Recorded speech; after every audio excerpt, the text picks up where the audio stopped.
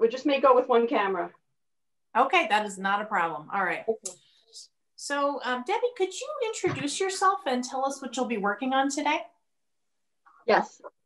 You can hear me? So Absolutely. I am, um, I am working on a four shaft loom. I'm actually making fingertip towels. Since um, COVID started, it's kind of funny. I put paper towels in my bathroom if we have anyone in the house in case I don't want to use my own towel. So now I'm kind of making a little set of towels that my guests will use and I can just keep washing and reusing. Wonderful. I love it. Okay, so I'm going to turn off video and I'm going to turn off my audio. I will Okay. only pop in if there's a question. So go ahead and uh, start weaving. Show us what you're doing. And I, I have just a little bit more in this light color. I'm going to switch to a dark warp in a minute, a weft in a minute, which will probably go better. It'll show up better. And you're using an end feed shuttle, is that right? I am using an end feed shuttle. Um, I like it. This is a newer, smaller one I just got, which is very nice. And could you talk about the difference between an end feed and a standard boat shuttle? Excuse me? Could you talk about the difference between an end feed and a standard boat shuttle?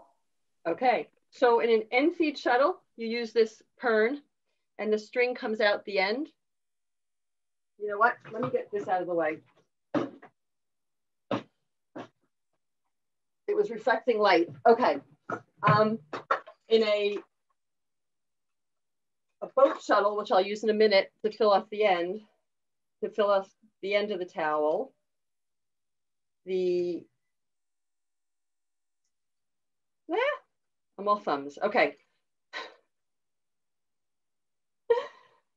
Uh, the thread comes out the bottom and it actually requires more hand control.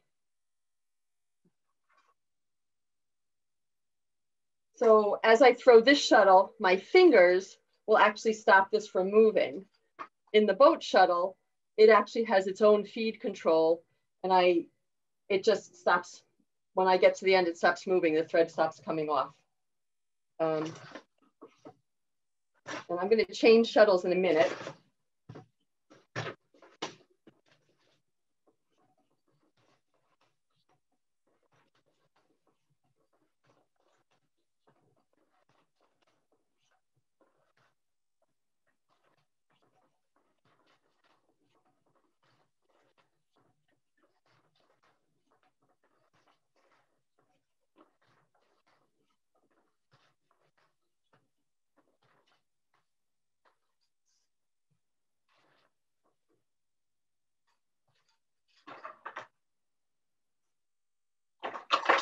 So since these are towels, they're gonna get hemmed. And so for the very end of each um, towel, I do some rows with just some cotton sewing thread um, so that the hem is less bulky.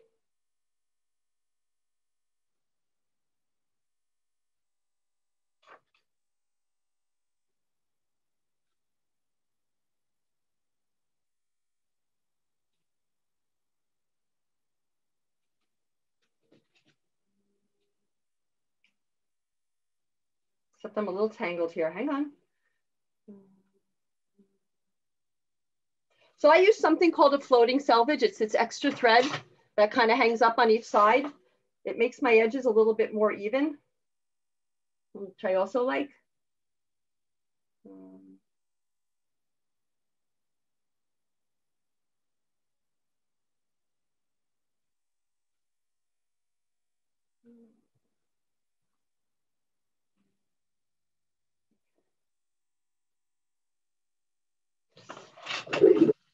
So now I'm going to use the boat shuttle, and it's a little bit pulled out.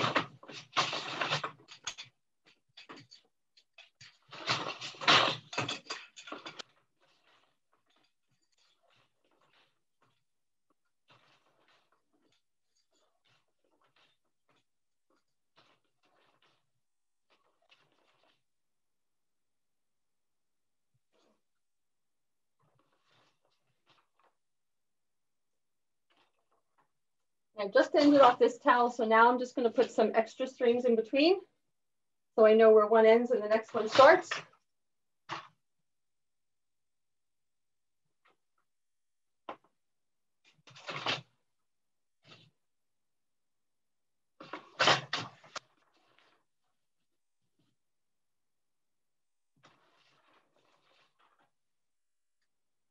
And then same thing, I start like on the end, the other one ended little thread,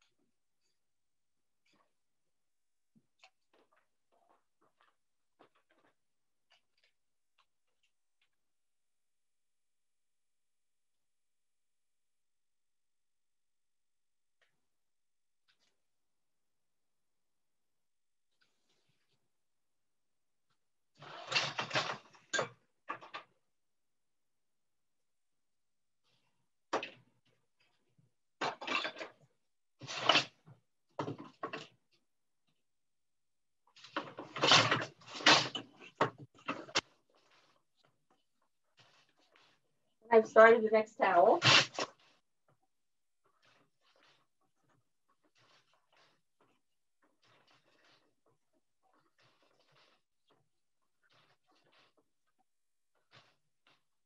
Oh, I've made up a whole new design, huh?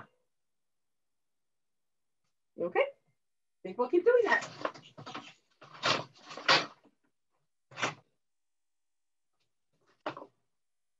I'm not sure what I did.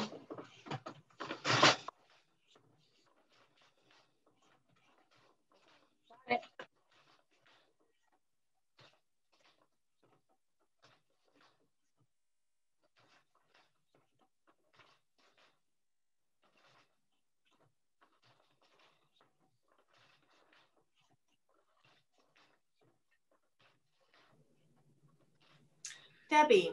What? Could you tell us a little bit about your loom? So I have a, um, this is a four shaft loom. So over here, there's just four different shafts. They can come up two at a time. Actually, this one's set up so only two come up at a time.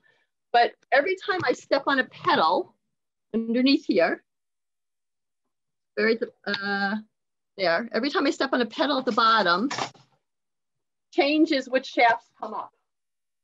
So currently, because I made a little mistake, although I like it, um, on the first time I hit these two and then the next two, and then I go to the other side back and forth. Um, but the threads, the, the way um, each thread goes through one of these little metal pieces, or these are called heddles. And those are attached to specific levers on the bottom. And that lets tells which thread should come up so that my shuttle with the weft goes either under or over a specific thread. It's very, it's fairly simple. I don't, the only thing my hands do is move the shuttle and the beater. Some people have looms that have table looms that they actually, instead of their feet, use little levers on the top. Um, actually, I have a castle on which I can take off, which actually may give better light. Here we go. Okay. So now you can see the top of the loom better and see what goes up and down as I weave. In the background there is a very similar loom, but with eight shafts, so I can do more complicated patterns.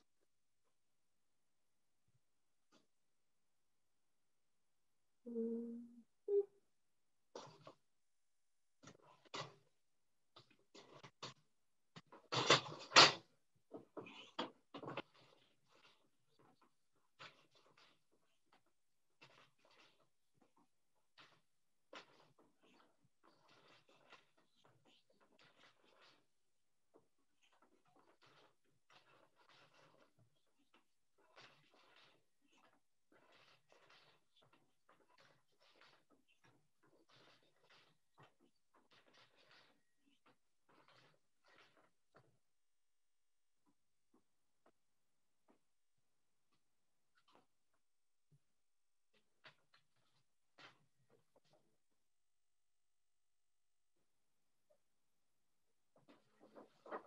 Megan would tell you I've just woven well beyond my sweet spot. Uh, yes, you have. Had. Well, I wasn't paying attention. I was a little flustered. Um, but I went in most field, and that's the area where it's easiest to put the shuttle back and forth. But so now I've advanced it. And since I want my towels to all be similar length, I measure them as I go along.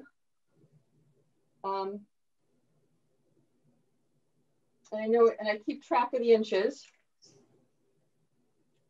It's interesting to me how different each loom is because on my big Norwood, where um, where you have advanced the cloth, that would be far too close to the breast beam. I would have to push that up a little bit.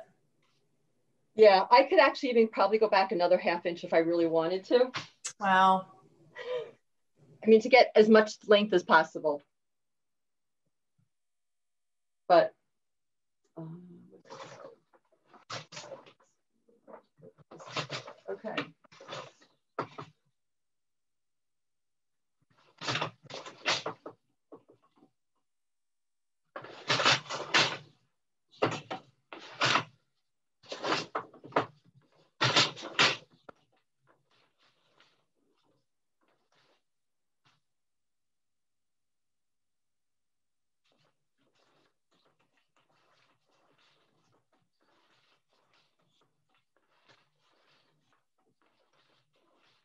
I had this horrible streak a few minutes ago, which I had to oil.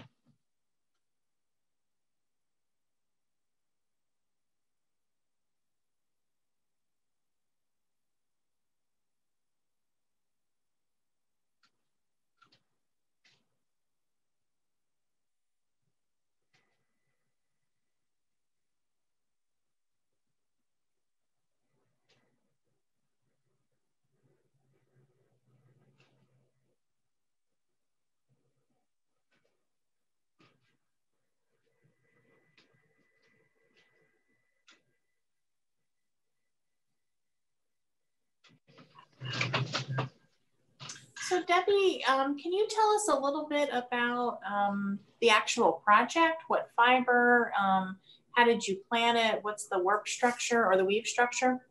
Yep. So this is um, this is all cotton.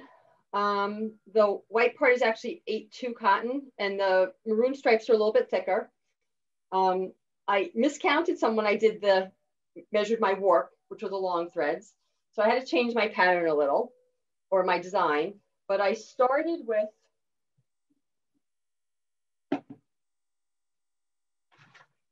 I started with an idea about how which threads I wanted to do, and these are M's, M's and W's.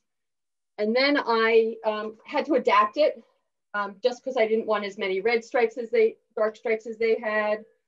Um, and then I hadn't, when I decided to make the, the whites thicker, I hadn't had enough thread. So anyway, then I decided what size towels I wanted to make. Figured out how many threads per inch I need. Um, measured the warp, threaded it through each of the heddles on the shafts to make the design. Um, and then figured out for each towel I have to weave about 20 inches. Um, I think that this is about 12 and a half inches in the shed. I mean in the reed, reed. which is decides how wide this little slotted thing and um, or the slotted bar. And uh, then I just started going, doing what I was going to do. Uh, and I'm just sort of weaving back and forth in a zigzag. Um, on the first towel that I was doing, I was doing sort of what was the equivalent of a V from each side. I would go on the treadles, the foot pedals, uh, one, two, three, four, five, six, seven. And then I would start on the other side and do the same thing back and forth. And it makes a totally different pattern. Um, but that's how that works. We have a question from a viewer, which is how does the shuttle get uh, loaded with yarn? And could you maybe talk a little bit about how that's different for a pern versus a bobbin? Yes. So the pern, um, a near empty pern looks like this. And the when the yarn comes off, it comes off the end. I wind them on the same kind of bobbin winder, but on the pern, you sort of start here and then kind of fill gradually going all the way towards the end.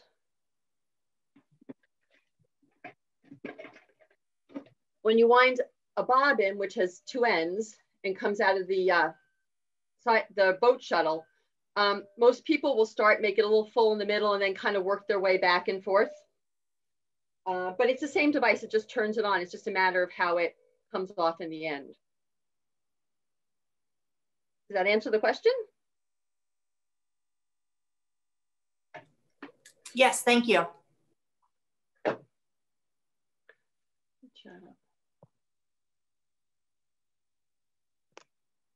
Okay. Where was I?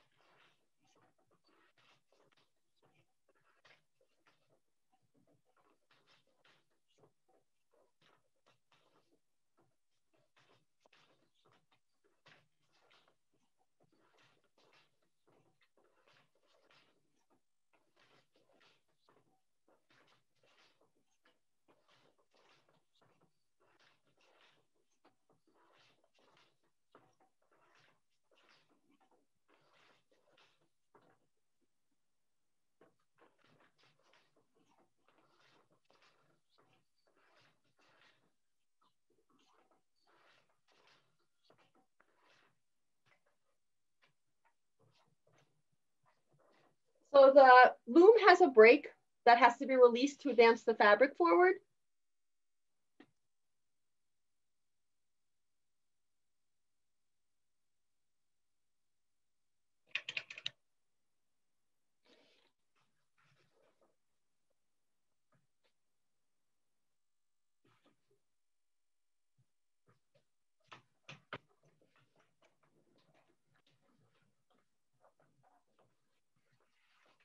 And then it has a crank that then lets me make the warp come to just the tension I want it to be at.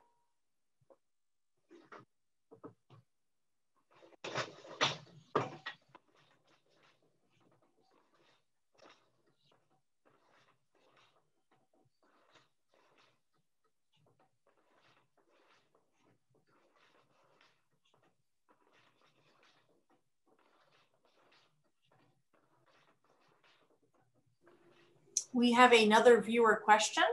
This question is from Roy, and he asked, does using an end feed shuttle take a lot of getting used to compared to a boat shuttle if you've used that previously?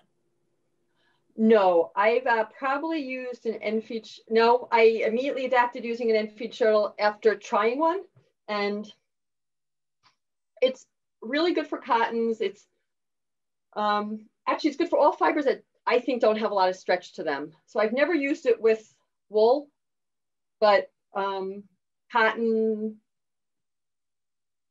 uh, tencel, bamboo. Uh, it seems to work really well, but it was very easy to adapt to.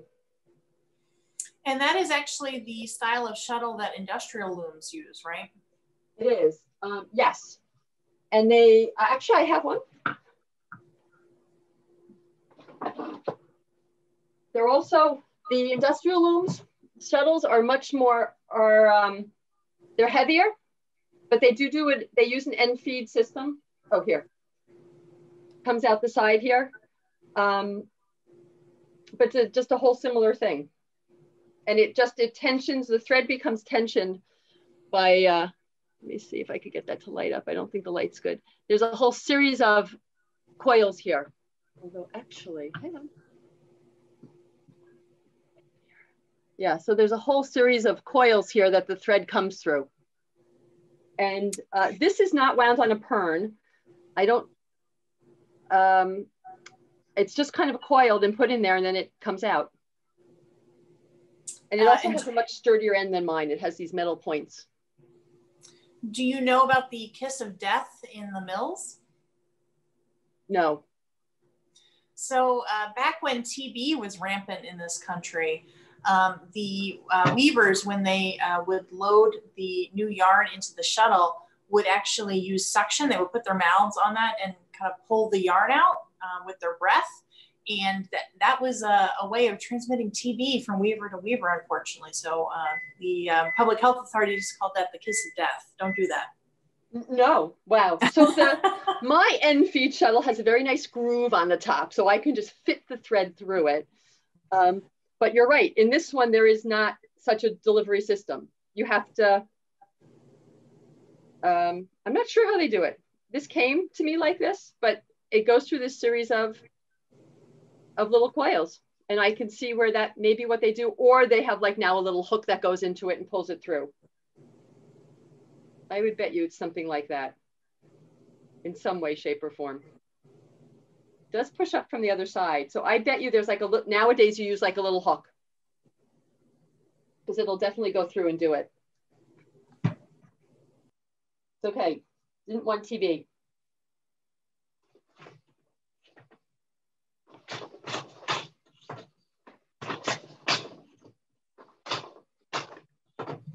Okay, we have a viewer request. Um, can you move your camera over the fell so we can actually see your pattern? Okay.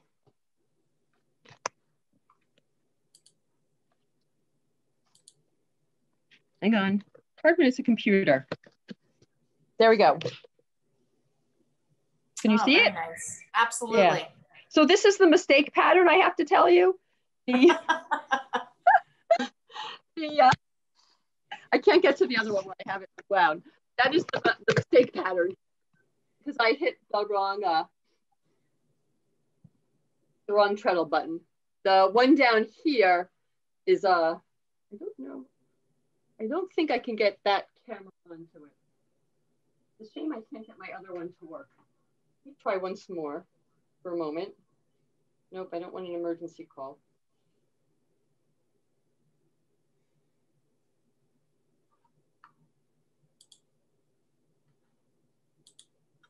Nope. Hmm.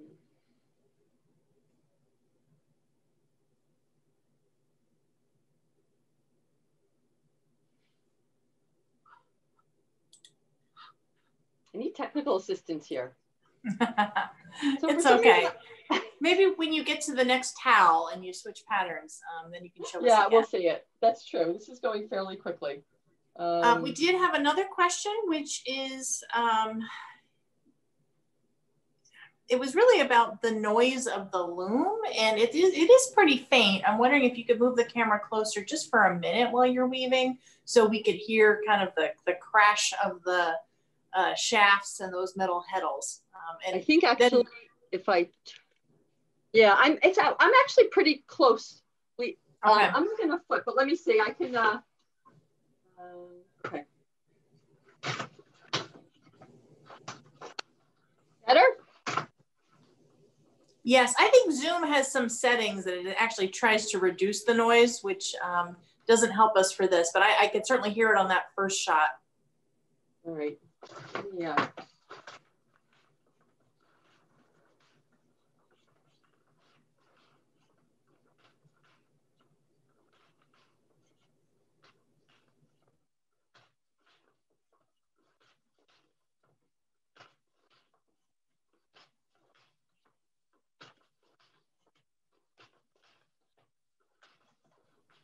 We have another viewer question, which is, can you explain how you are treating the flowing, uh, the floating selvages?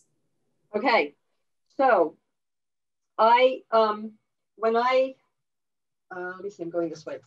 So my, the, the floating selvages have a twist to them. And so like all, all the, all, all threads have a twist to them. And so one of the things I learned is that I have to, when I use the floating selvage, I have to follow that twist, otherwise they break. So I know that my thread is twisting this way, clockwise. And so I, on one throw, go over the thread, just keeping that pattern. And then on the next throw, I go under it. And I do the same thing each. So under the throw, when I go right to left, I'm under. And when I go left to right, I go over. And that um, maintains the twist of it.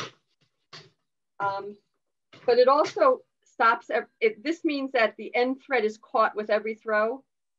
Um, something about my pattern I didn't talk about, it's what's considered a twill.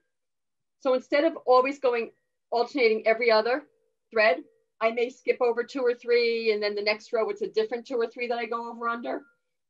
So if the, that would sometimes leave a long space on the edge where I'm not going around the end thread.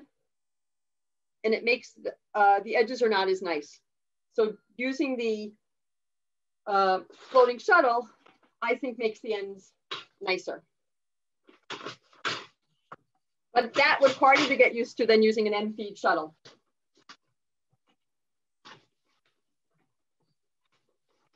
All right, I made a mistake here, but these are guest towels for my house. So they're going to have some variety. That is uh, where all my mistake towels end up as well. So the nice ones go to the sale and the mistakes stay in my house. Right. If these were a gift, I would take out the few rows, but I kind of like it. I have another row that's a little bit off back there. Good. Factory seconds. Always become the weavers.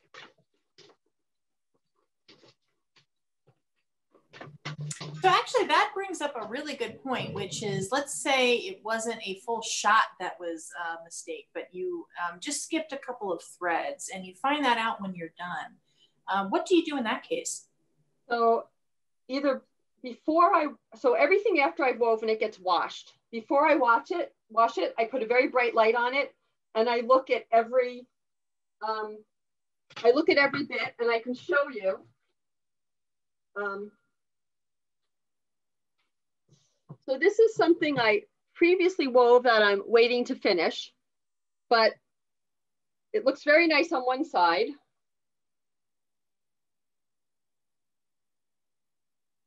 Um, but I know there's mistakes in it. And so before I finish this towel, I will find the mistakes and I will fix them by hand. Um, kind of just weave through a new thread of the same color um, and cut out the other mistake and it works. Although, boy, maybe I fixed this one already. I don't think so though, because there's a lot of blue threads here. But um, yeah, so I fix the mistakes. It doesn't affect the, oh here.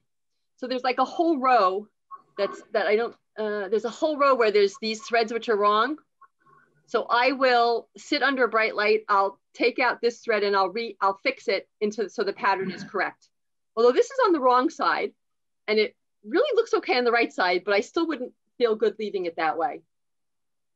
So it's not. Well, that is my least favorite part of weaving is fixing the mistakes. Absolutely. I like to try and find them when I'm as I'm weaving, but it's okay. It works. And, um, you know, if you remember to advance um, past your sweet spot, you're probably going to have less mistakes because you're less likely to catch a wrong thread unless your mistake is due to um, stepping on the wrong treadle.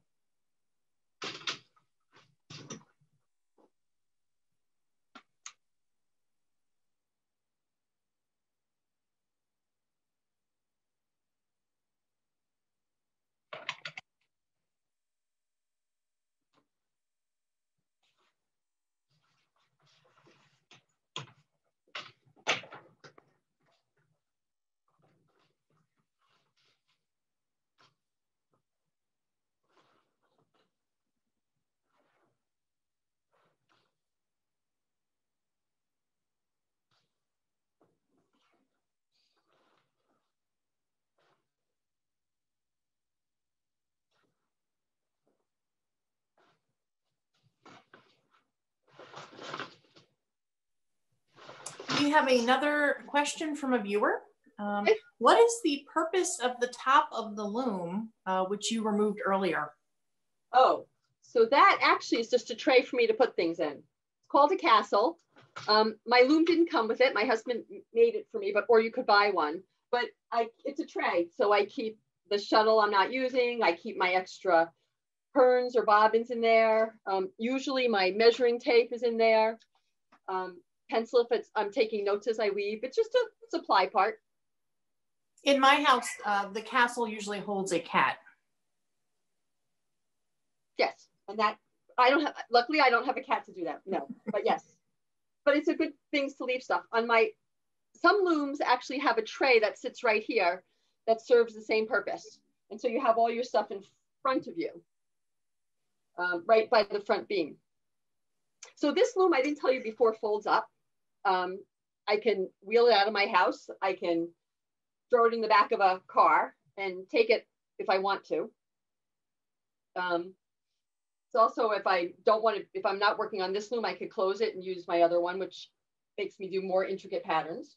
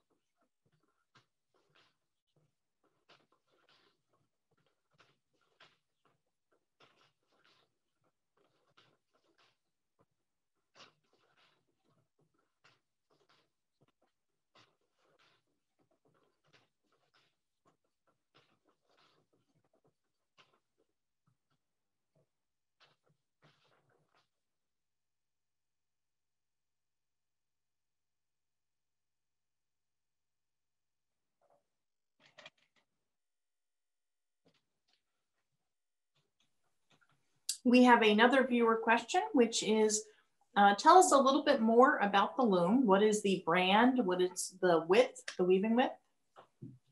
So this is a Schacht Baby Wolf. Uh, I have, the Baby Wolf is about a 26 inch weaving width, which is um, determined by the reed. This, the part here that actually is in the beater. Um, it, you can get it with four shafts, you can get it with eight shafts. Um, I like it. Um, it kind of just works height wise, distance wise for me, it works really well. And uh, I've had this loom for, I think since 2005. Um, uh, and so I liked it so much, it's just I have the same loom with eight shafts. But it's a Schacht, um, comes out of Boulder, Colorado. I've actually been there um, to, to, their little factory. It's kind of you get a cute tour if you're in if you're in Boulder. Uh, there are other other lots that you can get this as a skinnier loom. You can get it as a much wider loom, and but they all fold up the same way. If I were to lift the front and the back, um, I could completely lift this up, and it would end up being about uh, somewhere between 12 and 16 inches wide. I forget how bit wide it gets. I want to um, drill into your comment about uh, you've had the loom since 2005. So are, you know, do looms have an end date? Um, can they live on for a long time? Tell me about the longevity of a loom. Uh, looms can live almost forever. Um, my other loom, I bought, it was a used loom I bought from someone else. It needed a little bit of rehab. I was missing some parts, but um, this loom could last me forever. There's not any reason. I could choose to replace my heddles. My current heddles are metal. I could uh, change them to a product called Texsolv, which is a, a, a, a fiber heddle. Um, I did have to oil it this morning, which I had never done before because as I moved the beater, it was making this horrible squeak. Um, there's some other, there on the very bottom, there's some um, uh, fabric, some loops, some cord loops that attach the shafts to the treadles, the pedals. Um, those could wear out and need to be replaced, but with good maintenance, a loom could last forever.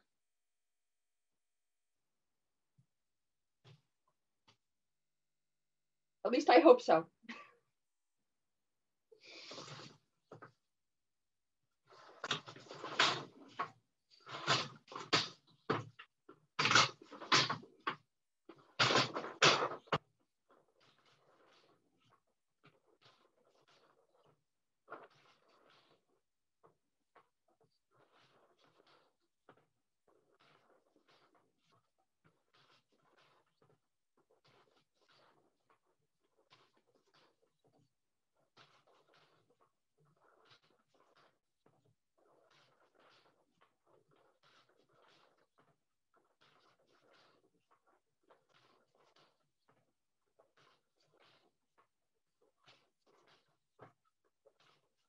Right, excuse me a moment. I'll, in the back of my loom, there's paper that is between the layers of the warp.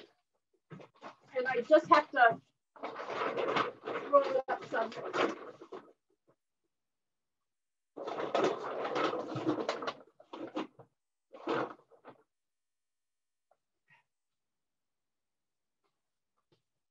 Also, one of my threads is loose, so it's on a weight. And so I just want to move that down a little also.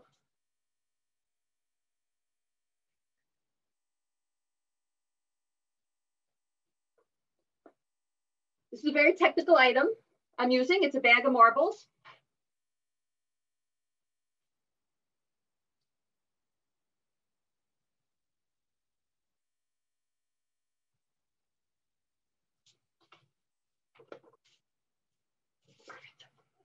All right.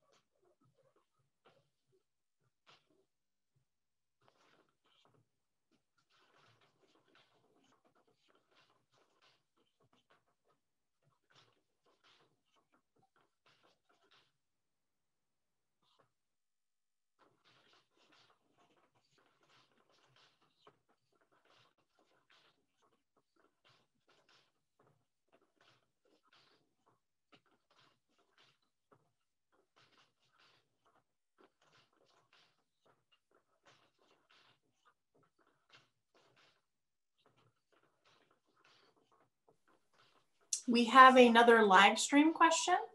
Okay. So you mentioned changing heddles from metal to Texsolv. Um, yes. Do weavers have trouble getting the shafts to fall with gravity um, when you make that change? Because there is a weight difference, right? There is, and and I I can't really answer that question because I don't I don't um I haven't tried it. Um, I kind of I like the the Texsolv is quieter, I'm sure. Uh, I like the metal, but theoretically it shouldn't be a problem. There's also some looms have what's called a um, um, well, it's not this loom. My other loom has it. It's a I forget what it's called, but it helps the it helps the shafts go back down after you use them. It works out really well if you're doing a very thick cloth um, or you have a lot, um, like if I work double layer, um, and I can't think of the name of it for the moment, um, but theoretically they should slide up and down. And I don't think the weight should be dependent, but I may be wrong. We have another question, um, and I will give some context. So weaving is typically a solitary sport, right? We don't often have live Zoom broadcasts, right? So we're usually doing this off in our own homes, uh, but we do occasionally get together for workshops. Um, and so in that case, uh, we won't be taking nine foot looms like Stephanie's rug loom, right? We're gonna be taking smaller looms. Um, so is this loom good for workshops? Yes, I've taken this, I've taken this loom to quite a few workshops like I said, it folds up or pulls up together. Um, it just gets secured closed. Slide it in the back of the SUV or a wagon and off we go. Um, like I said, there are smaller ones, but yeah, this is portable.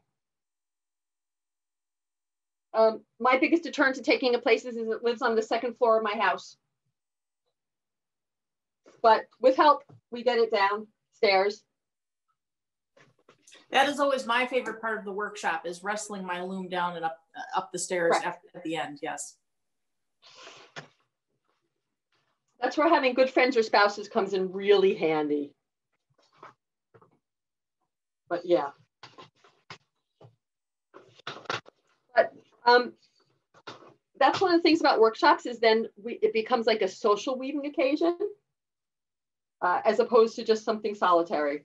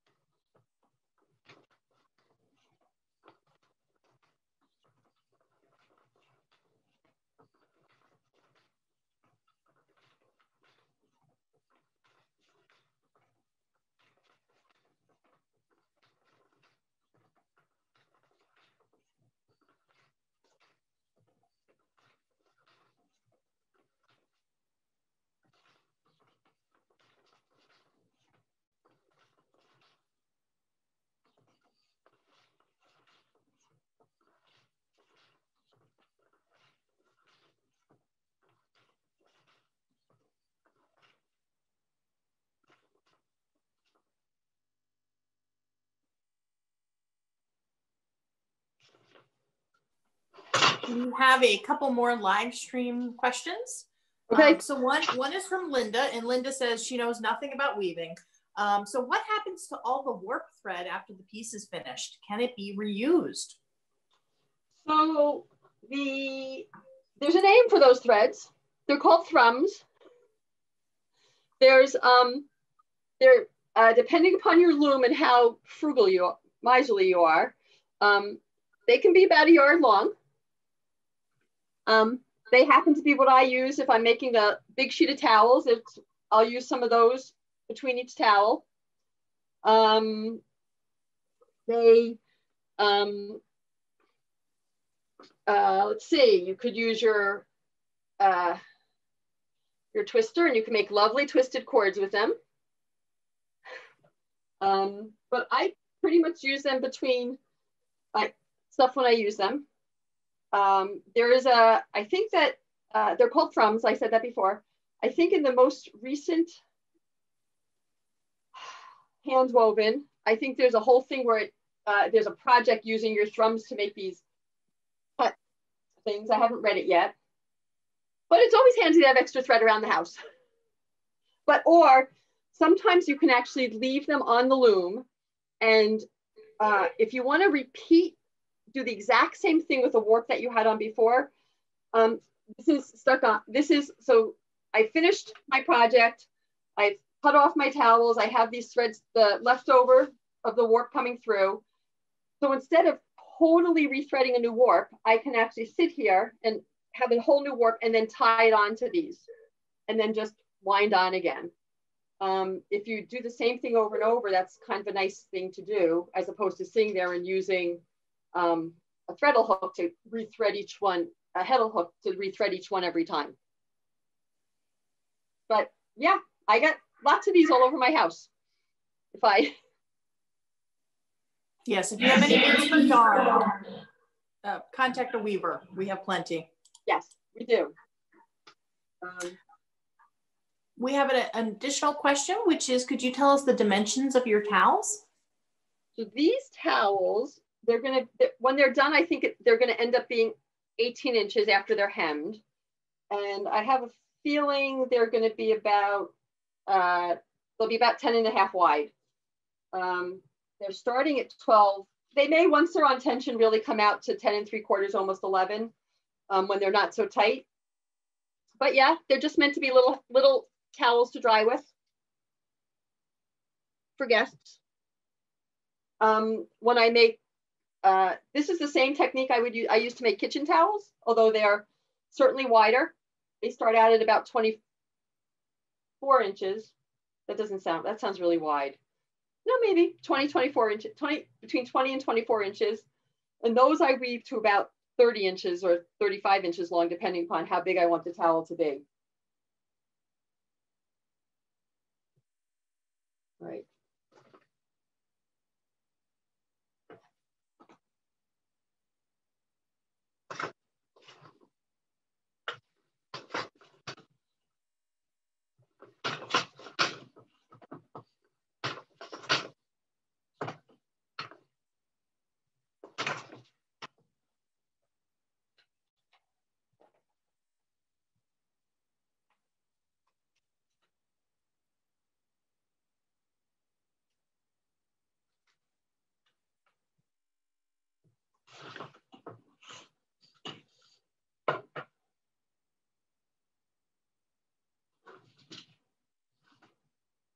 So I just have to change threads here.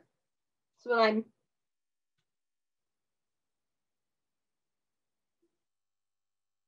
I usually try to twist them around one another so they lock in. This actually happens in commercial fabric also. The machine will actually, um, sometimes you notice there's like an extra little slub or something, and that's generally where it's a new thread has been added. So we have a follow-up question, which is, um, so you talked about the leftover bits of the warp, but what about the warp um, that you've woven? Does that actually become part of the piece or does it come out? Um, oh, no. We think, go ahead. This is, so this is, this warp is part of the piece. Um, it, I mean, it's the, you have to think of weaving as uh, crossing over one another. Um, and so you need the, the warp strands and the weft strands to keep that together. If you look, um, like think about plaid um, or gingham where you have uh, two different colors and you see how they cross one another. So remember the threads that go either vertically and the threads that go horizontally. One is the warp and one is the weft.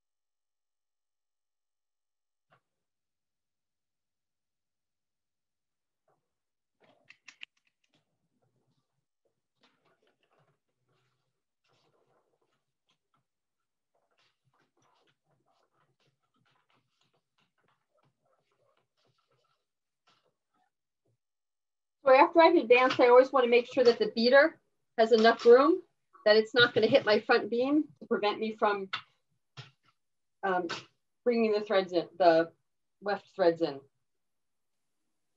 We have another question, which is, have you found that some designs look good as a draft, but not so good when finished? So in the actual cloth. So that's hard to tell because when you're weaving, something may look like one thing, but it's not until you wash or somewhat full the fabric that you really see the pattern come out. I think things on the loom look really different than they do once they're they're finished. But the other thing is sometimes I'm looking at a draft and I happen to be weaving the wrong, what I'm seeing on, on the front is the wrong side just because of the way the shafts go, because you have a right side and a wrong side to fabric.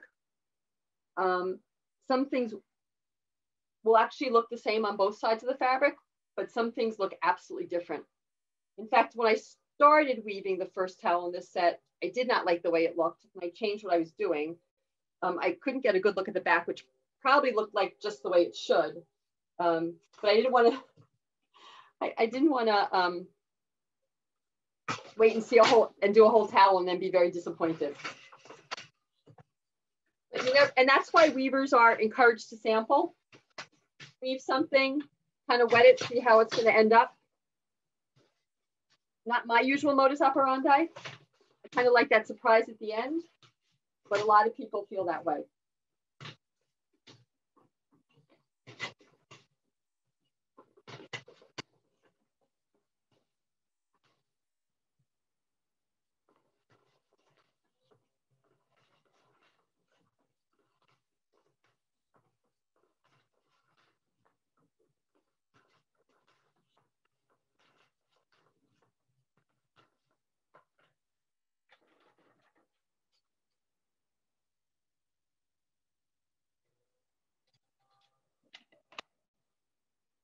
So I'm just going to end off this towel and start another one.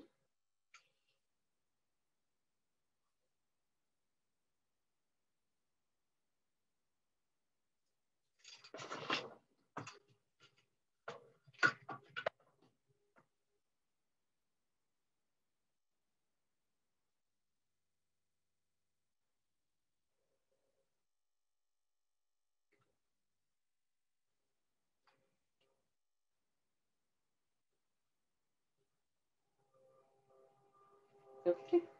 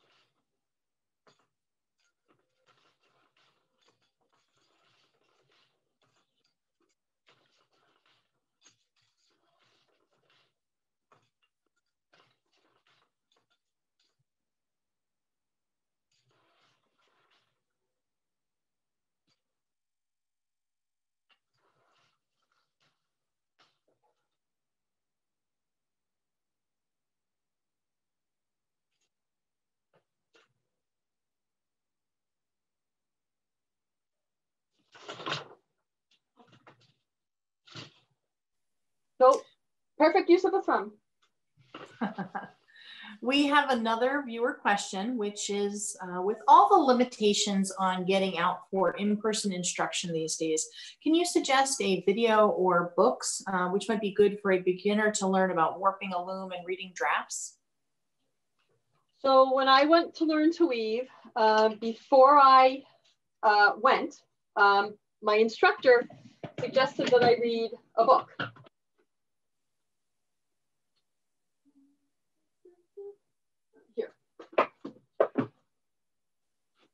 And so I, this is a book by someone named Debbie Chandler, Learning to Weave. I pretty much read it cover to cover, went for my one day lesson, came home with a smaller loaner loom, used it for a few weeks, um, and then just sort of started doing things on my own. There are all sorts of different pattern books, and then there's also online access. But there are things, this is, this one is specific. It just tells me exactly, um, gives me ideas of how I thread each shaft. So each square goes with a thread.